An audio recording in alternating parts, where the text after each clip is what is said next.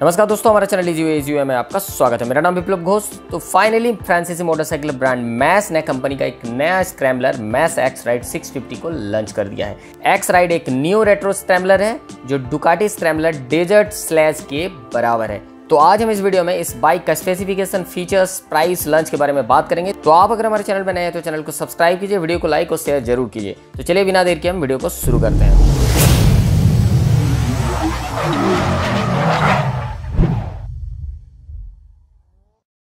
तो सबसे पहले बात करते हैं इंजन के बारे में। एक्स राइड में 643.7 सीसी का सिंगल सिलेंडर इंजन है, जो कि 6000 आरपीएम पर 40 बीएचपी और 4500 आरपीएम पर 45 एनएम का टॉर्क जनरेट करता है। इसमें पाँच स्पीड का गियर बॉक्स मिलता है। साथ ही फ्यूल कैपेसिटी की बात करें तो इसमें 12 लीटर का फ्यूल कैपेसिटी वाला फ्यूल टैंक लगा हुआ है। वेट की बात करें तो इस गाड़ी की जो वज़न है, ये एक सौ के आसपास है और सीट हाइट की बात करें तो इस गाड़ी की जो सीट की हाइट है, वो आठ सौ वाली है। एक्स राइड में 17 इंच का टायर लगा हुआ है, जो कि वायर स्पोक व्हील के साथ आता है। दोनों साइड में सिंगल डिस्क के साथ 320 mm फ्रंट डिस्क और 240 mm रेयर डिस्क लगा हुआ है। इस बाइक में एक छोटा इंजन बेस प्लेट भी है, जो स्क्रैम्बलर की ऑफ़ रोड कैपेसिटी को रेखांकित करता है। अब बात करते हैं प्राइस की। तो मैस एक्स 650 की जो प्राइस है, वो पाँच यूरो मतलब पाँच लाख के आसपास है।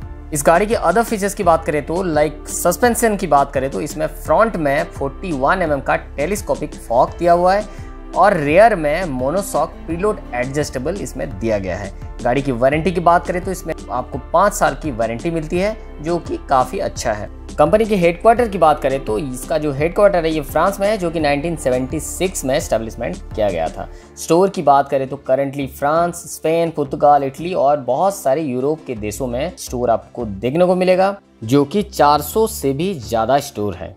तो आप अगर एडवेंचर बाइक के शौकीन हैं तो ये बाइक आपके लिए एक अच्छा ऑप्शन हो सकता है। हालाँकि इंडिया में इसका लंच को लेके अभी तक कंपनी ने कोई ऑफिशियल अनाउंसमेंट अभी तक नहीं की है। डिमेरिट की बात करें तो इस गाड़ी में एक जो डिमेरिट मुझे लगता है, वो है इसकी सीट हाइट तो सीट की हाइट काफ़ी ज़्यादा है और इसमें एडजस्टेबल सीट हाइट का कोई ऑप्शन नहीं दिया हुआ है। तो अगर शॉर्ट हाइट के कोई लोग इस गाड़ी को पसंद करते हैं, कोई चलाना चाहते हैं तो उसके लिए ये परेशानी उठाना पड़ सकती है। तो आज के लिए इतना ही। गाड़ी के बारे में दी गई इन्फॉर्मेशन आपको अगर अच्छा लगा तो वीडियो को लाइक और शेयर ज़रूर करें और आप अगर हमारे चैनल में नए हैं तो चैनल को सब्सक्राइब ज़रूर करें। हम फिर मिलेंगे नए स्टोरी के साथ, नए न्यूज़ के साथ, नए रिव्यू के साथ। तब तक लिए जय हिंद। बाय